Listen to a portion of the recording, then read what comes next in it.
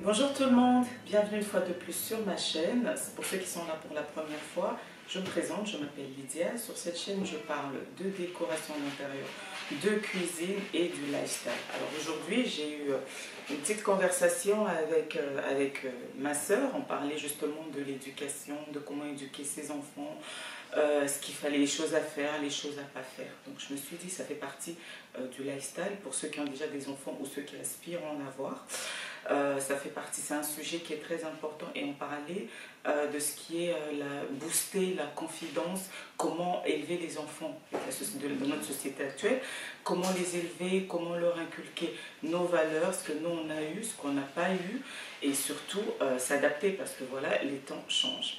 Alors, le point sur la confidence des enfants, c'est comment leur, donner cette confiance en soi. Voilà, c'est plutôt ça de dire confidence, c'est la confiance en soi, parce que confidence, c'est euh, en anglais. Donc, comment euh, booster la confiance en soi de ses enfants Alors, le principe, c'est que les enfants, à la maison, on leur dit que ce sont les meilleurs, que ce sont les plus beaux, que ce sont les plus intelligents. Ma soeur et moi, par exemple, on discutait, on rigolait, parce que nous, j'avais, euh, j'ai la soeur de ma mère, au fait, qui, euh, qui avait horreur qu'on nous dise, quand tu parles avec quelqu'un ou que quelqu'un dise Ah, euh, ta fille ou ta nièce est belle, ou dire à un enfant qu'il est beau ou belle. Elle disait Non, non, non, non, il faut pas le dire ça, sinon il va prendre la grosse tête. Il faut dire à un enfant que la beauté ne fait pas tout. C'est vrai que nous, elle nous disait ça. Oui, on a grandi avec, mais au fait, en étant moi-même maman aujourd'hui, avec du recul, je me dis Au fait, non, il faut dire à ton enfant, il faut apprécier ton enfant. Parce que si toi, maman, toi, papa, tu ne le fais pas, ce n'est pas les gens de l'extérieur qui vont le faire. Et si les gens de l'extérieur le font, même pour l'enfant, quelque part pour lui, il va se dire, mais pourquoi mes parents ne me l'ont jamais dit?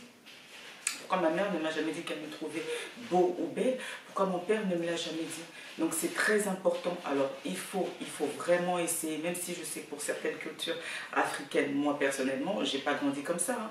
C'était pas mon père qui allait me dire il faut être belle. Hein. ça c'est clair. Non plus ma mère. Bon, ma mère, voilà, elle ma mère, elle nous a toujours dit qu'on était belle. Ma mère, elle nous disait, elle nous encourageait toujours. Il y avait des fois, tu te présentais mal, tu dis maman c'est joli, elle va quand même te dire oui c'est beau, même si au fond de toi tu sais que c'est pas beau. Maintenant elle a un peu pris de l'âge. Maintenant elle dit ce qu'elle pense quand tu lui dis un truc. Moi par exemple, j'ai pris quelques kilos, voilà, avec les grossesses. Et quand elle me voit, c'est oh là là, mais toi, il faut faire attention. Alors qu'il y a quelques années, elle m'aurait dit non, tu es bien comme ça, tu vois.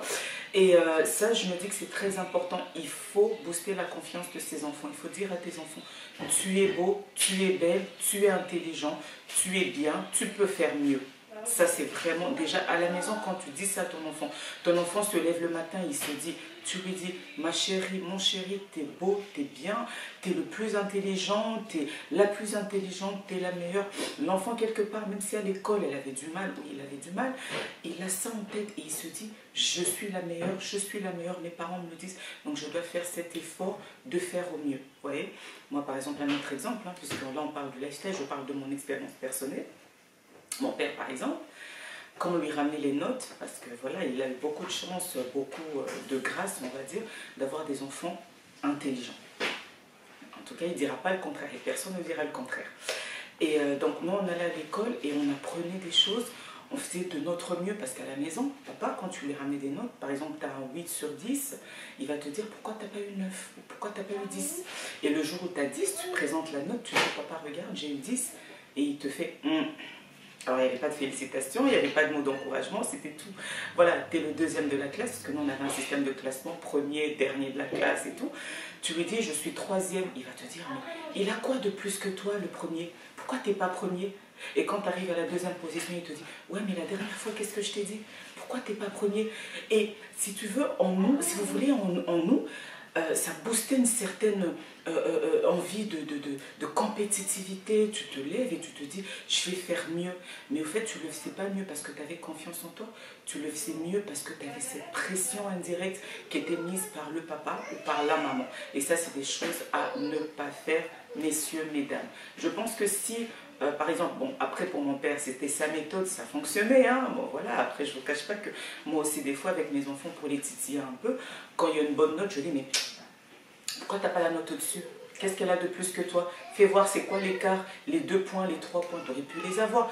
voilà, j'emploie un petit peu la méthode de mes parents, enfin de, mon père, parce que voilà, ça te rattrape. Mais j'ai aussi ce côté où je dis à mes enfants, je te fais confiance, tu capable, tu es intelligent. Et ça, c'est important que ça vienne de nous. Donc, comme je disais, euh, comme je disais tout à l'heure, il y a ce côté-là où il faut vraiment euh, encourager vos enfants, leur dire des mots d'encouragement, de que tu es jolie, que tu es intelligent, tout ce qui va avec. Après, il y a le côté aussi éducation. Donc là, c'est très important. Et nous, par exemple, on avait euh, l'obligation quand tu rencontrais un adulte, déjà mon papa, je vais toujours prendre l'exemple de mon papa parce que voilà, on parle mieux, euh, les exemples, c'est mieux de donner ses propres exemples. Mon papa, par exemple, tu le vois le matin, tu dois lui dire bonjour au réveil, normal. Tu le revois à midi, tu dois dire bonjour. Au fait, chaque fois que tu vas le croiser dans la journée, tu es obligé de lui dire bonjour.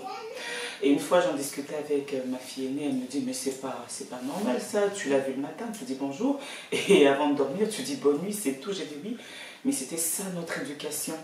Et ça, c'est quelque chose, j'ai remarqué, bon, c'est pas pour être mauvaise langue ou être méchante, mais j'ai vu certains, j'ai remarqué dans certaines familles, par exemple, quand tu arrives, les enfants ne disent pas bonjour aux invités. Il va te croiser, il te dit pas bonjour. Et euh, les parents trouvent ça normal, alors que non, c'est quelque chose qui n'est pas normal. Il faut inculquer à nos enfants ces deux côtés-là, cet équilibre-là. Les bases, parce que même la Bible, hein, c'est biblique, c'est écrit dans la Bible, on dit instruis l'enfant selon la voie qu'il doit suivre. Et quand il sera grand, il ne s'en détournera pas.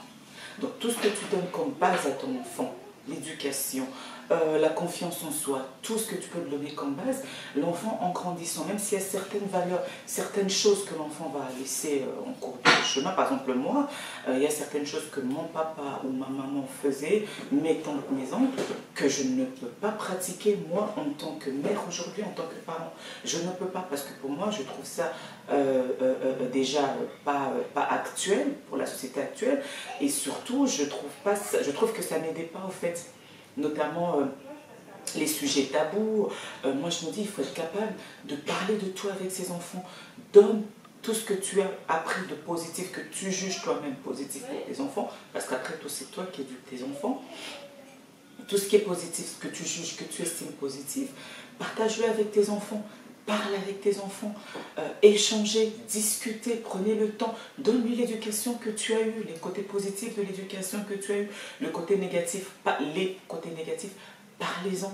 Moi, par exemple, j'explique beaucoup de choses à mes enfants. Je dis, voilà, tu as de la chance d'avoir ça, ça, ça. Moi, je n'avais pas ça. C'est pas parce que mes parents ne pouvaient pas, mais parce qu'ils ne voulaient pas.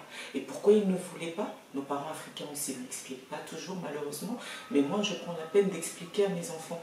J'en ai une qui est en plein euh, début d'adolescence qui demande des choses des fois et moi je lui dis non tu ne l'auras pas tu ne l'auras pas ou tu ne le feras pas pas parce que je ne veux pas ou parce que je ne peux pas mais parce que j'ai décidé que c'est comme ça, parce que, et là je lui explique, et je lui montre la chance qu'elle a, je lui dis des choses, on parle, parler avec les enfants, ça te permet non seulement de comprendre leur façon de réfléchir, ça te permet non seulement de discerner un petit peu les, mauvaises influences qui peuvent venir de l'extérieur ou même de l'intérieur, parce que des fois c'est facile de pointer les autres, euh, les, les copains, les copines qui ont une mauvaise influence sur nos enfants, mais des fois c'est peut-être nos enfants eux-mêmes qui ont cette influence négative sur eux-mêmes et aussi sur les autres. Donc ça c'est important, discuter, dialoguer avec ses enfants, prendre le temps de parler avec ses enfants.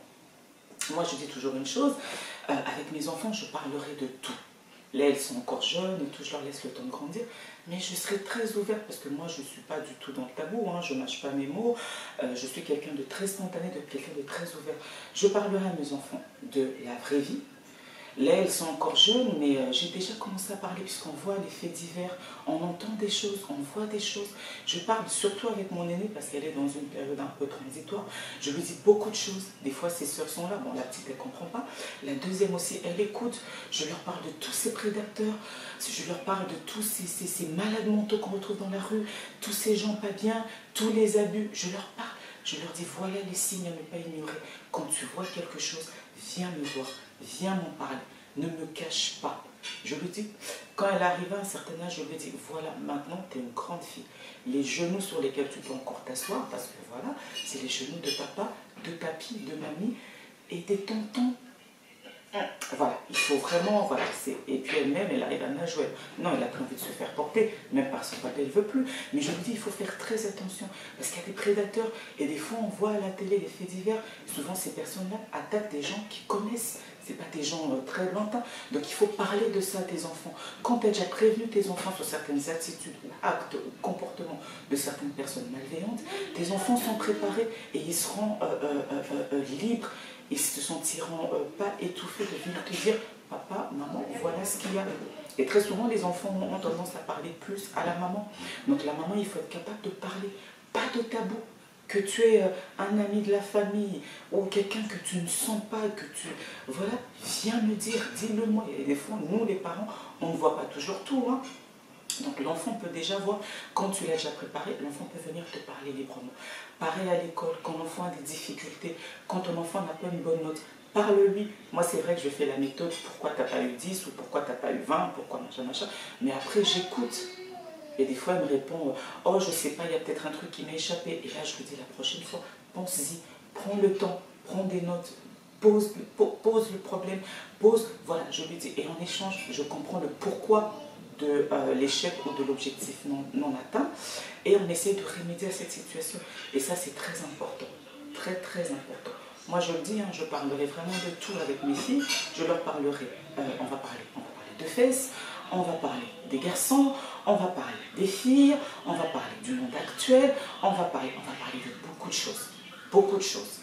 Déjà, elles sont très curieuses, elles sont très ouvertes d'esprit, donc elles posent déjà certaines questions. Et moi, je réponds, mais je réponds de manière fluide, très ouverte. Certes, elles vont pas toujours tout me dire, ce ne sont pas mes copines, mais au moins, elles ont cette liberté-là de dire, voilà, je peux dire ça ou ça. Pareil avec mon mari, mon mari est très ouvert, alors mais lui, euh, voilà, et je l'entends des fois parler avec ses filles, il est très clair, il est très cash, il n'a pas de tabou, il ne lui dit pas va voir maman parce qu'il est gêné. Non, des fois quand il est gêné, il va te faire un petit message pour te dire viens vite, viens vite, il y a un sujet qui est en train d'être abordé, et là je viens, j'interviens. Ou alors des fois je lui réponds non, je ne viens pas, je te laisse gérer ça tout seul, parce que c'est important aussi qu'elle se sente en confiance avec papa, tu es une figure masculine, donc il faut qu'elle t'ait toi en référence, en, voilà, en appui, et puis c'est important. Voilà. Et euh, vous voyez que si vous mettez ces choses en place, ce sera tellement plus facile de communiquer. On aura une famille euh, pas du tout frustrée, une famille ouverte et une famille et des enfants épanouis. Ça, c'est très important. Quelque chose qui est très important, c'est euh, l'image qu'on donne à ces enfants, de nous, en tant que parents, en tant que couple. Parce que les enfants, il n'y a pas plus pire. Hein. Les enfants, ils observent beaucoup. Quand ils remarquent une faille entre papa et maman, ils en profitent, c'est là qu'ils sont à fond dedans. Détrompez-vous pour ceux et celles qui n'ont pas encore d'enfants. Je vous souhaite des enfants parce que c'est la plus belle chose euh, qui puisse arriver après un mariage. Mais il faut savoir que c'est quelque chose aussi qui vient très vite vous mettre en conflit. Parce que l'arrivée d'un enfant, ça bouleverse, ça bouleverse pardon, tellement de choses ça bouleverse votre équilibre, votre intimité, euh, vos échanges, parce que chacun se dit, c'est voilà, mon enfant, je dois faire ceci, et puis l'autre, comme on vient déjà de deux familles, de deux éducations différentes, ben forcément, on n'a pas toujours les mêmes points euh, euh, d'entente, les mêmes accords, on veut faire comme chez nous, non, moi je vais faire comme chez moi, voilà. Et les enfants, ils comprennent très vite. Et dès qu'ils voient une faille entre vous deux, et là, ils, y vont, ils y vont mais à fond. Ils vont vous opposer. Et certains enfants même arrivent à séparer les parents. Oui, ils arrivent à séparer les parents. Donc nous, parents, il faut avoir une image unie devant les enfants. On se dispute dans la chambre, à côté. On ne s'insulte pas, on ne dit pas de gros mots, on n'a pas un langage déplacé. Mieux vaut même se taire quand vraiment on sent que ça ne va pas et que ça monte, ça monte, ça monte. Mieux vaut se taire. Tu te tais, tu fermes ta bouche, tu laisses le temps passer et après, à ce moment-là, une fois que les enfants ne sont pas là, tu dis à ta femme ou tu dis à ton mari, voilà ce que tu as dit devant les enfants, ça ne m'a pas plu. Alors mon mari et moi, euh, on a un truc qu'on fait, c'est un peu idiot, mais maintenant, vu qu'on a des grands enfants, on se dispute par message. Voilà, parce qu'on ne veut pas afficher ce côté euh, euh, d'incompréhension ou de malentendu devant les enfants. Quand il nous dit un truc qui ne me plaît pas et que je boue et tout, j'ai vraiment envie de répondre, et eh bien ce sera par message. Je vais lui dire voilà ce que tu as dit, on va passer notre temps, on peut être assis l'un à côté de l'autre, et on se dispute par message. Et voilà, et tout ça c'est pour préserver l'équilibre des enfants. Parce qu'on a fait ces erreurs, on a tous, voilà, on a tous notre parcours, on a fait euh, cette erreur-là, des fois, de se prendre la tête devant les enfants, d'échanger des paroles devant les enfants, de ne pas être d'accord. L'enfant a besoin de quelque chose, papa dit oui, moi je dis non. Et papa ne comprend pas pourquoi j'ai dit non. Donc il dit, mais pourquoi euh, tout machin? Moi je dis oui. moi je dis non, moi je dis non. Et ça devient un tyrannie. Et l'enfant il est super content parce qu'il se dit, ah, papa il va pas lâcher le morceau, j'aurai ce que je veux. Ou maman il va pas lâcher le morceau, j'aurai ce que je veux. Et moi quand je vois ce genre de situation, quand je vois que monsieur est fermé, qui dit, je veux ça, je m'incline. Et après, par derrière, je passe par derrière et je dis non, non, non, non. Et le lendemain, il va dire finalement à son enfant, euh, non, finalement, j'ai réfléchi. oh non, je suis sûre que c'était maman et tout. Mais voilà, et c'est important de, de, montrer un front uni devant les enfants, même si après, vous allez, voilà, euh, pas vous entendre, mais devant les enfants, on garde cette entente, cette harmonie-là. C'est non, c'est un non. Tous les deux, c'est oui, c'est un oui. Tous les deux, si c'est un oui et c'est un non, on essaie de trouver l'équilibre, mais on n'affiche pas nos, désaccords devant les enfants. Ça, c'est très important. L'image que les parents donnent aux enfants, ça aussi, c'est important.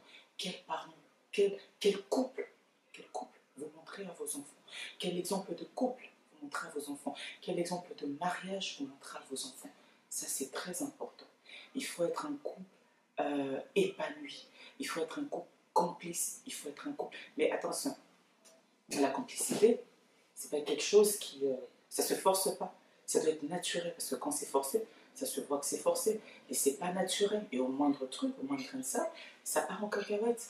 Voilà, il faut vraiment avoir ce côté-là, apprendre déjà vous à vous comprendre, à vous connaître parce que oui, il y a des couples qui ont fait des années, des années, mais qui ne se connaissent pas. Il y a des couples qui rigolent pas. Moi, par exemple, c'est pas. Voilà, je prêche pour ma, ma, paroisse, par exemple, mon papa et ma maman, je ne les ai jamais vus rigoler ensemble. Je ne les ai jamais vus s'asseoir et rigoler. Non. Ma mère, c'était une certaine ligne de conduite et tout, la femme parfaite et tout, machin, la femme soumise.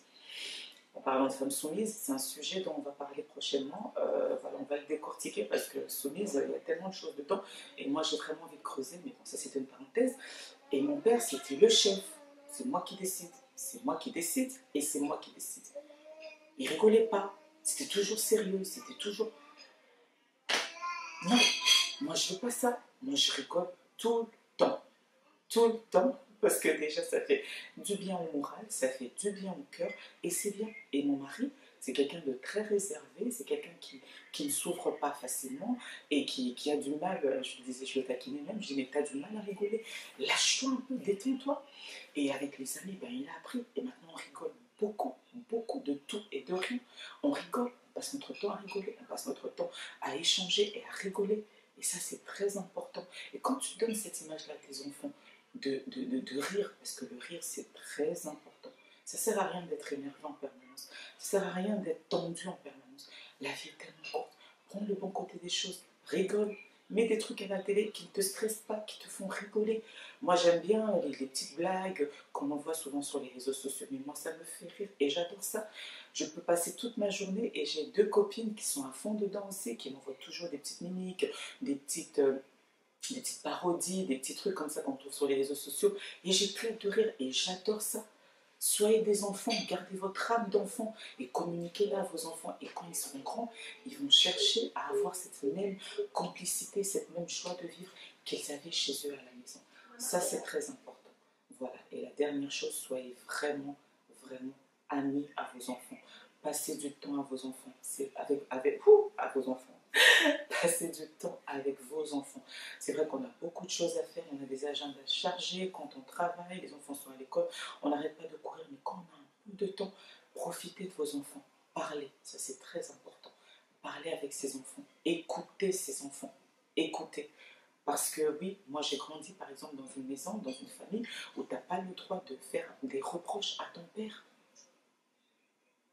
ou à ta mère. Bon, c'est vrai que maman, euh, voilà, il y avait des fois, on, disait certaines choses et elle écoutait beaucoup. Ma mère, elle écoutait. Mais mon père, tu ne pouvais rien lui dire. Zéro conseil, zéro machin. C'est papa, c'est limite, c'était euh, un dieu. C'est vrai que nos parents sont nos dieux sur terre, voilà. Mais euh, voilà, tu ne pouvais pas lui dire non, papa, tu as tort. Comme je vois mes enfants des fois dire oh non, papa, là, tu n'as pas raison. Non, on ne pouvait pas dire ça. Ce que papa a dit, c'est ce qu'il faut écouter, c'est ce qu'il faut faire. Voilà, ce que papa a dit, il faut écouter, il faut faire, mais papa n'a pas toujours raison parce que papa la connaissance absolue. Il faut échanger avec vos enfants. Dire à tes enfants, est-ce que ce que j'ai fait, c'est bien? Ce que je t'ai refusé, je te l'ai refusé. Pourquoi? Expliquer, parler. Donc voilà, c'est... Euh, c'est un petit partage que je voulais faire avec vous, euh, vu que sur cette chaîne, on parle aussi euh, de lifestyle, euh, le quotidien, la vie de famille et les enfants qui font partie de la famille. Voilà, je me suis dit que ce serait bien parce que j'en ai changé vraiment, je parlais avec une de mes sœurs et on a vraiment pris notre temps d'échanger là-dessus. Je me suis dit, tiens, pourquoi pas en parler sur ma chaîne, ça peut être un sujet intéressant pour les parents parce que voilà, on échange toujours et on apprend tous les jours. Et je me suis dit, pourquoi pas partager avec vous. J'espère que ça vous a plu cette vidéo. Si c'est le cas, n'hésitez pas à aimer, à partager, à laisser un petit commentaire. Ceux qui ne sont pas encore abonnés, je vous invite à vous abonner. Ça fait toujours plaisir. On va partager plein d'autres choses sur cette chaîne. Pour l'instant, moi, je vous dis à très bientôt sur ma chaîne pour une nouvelle vidéo. Pour l'instant, prenez bien soin de vous. Bye bye.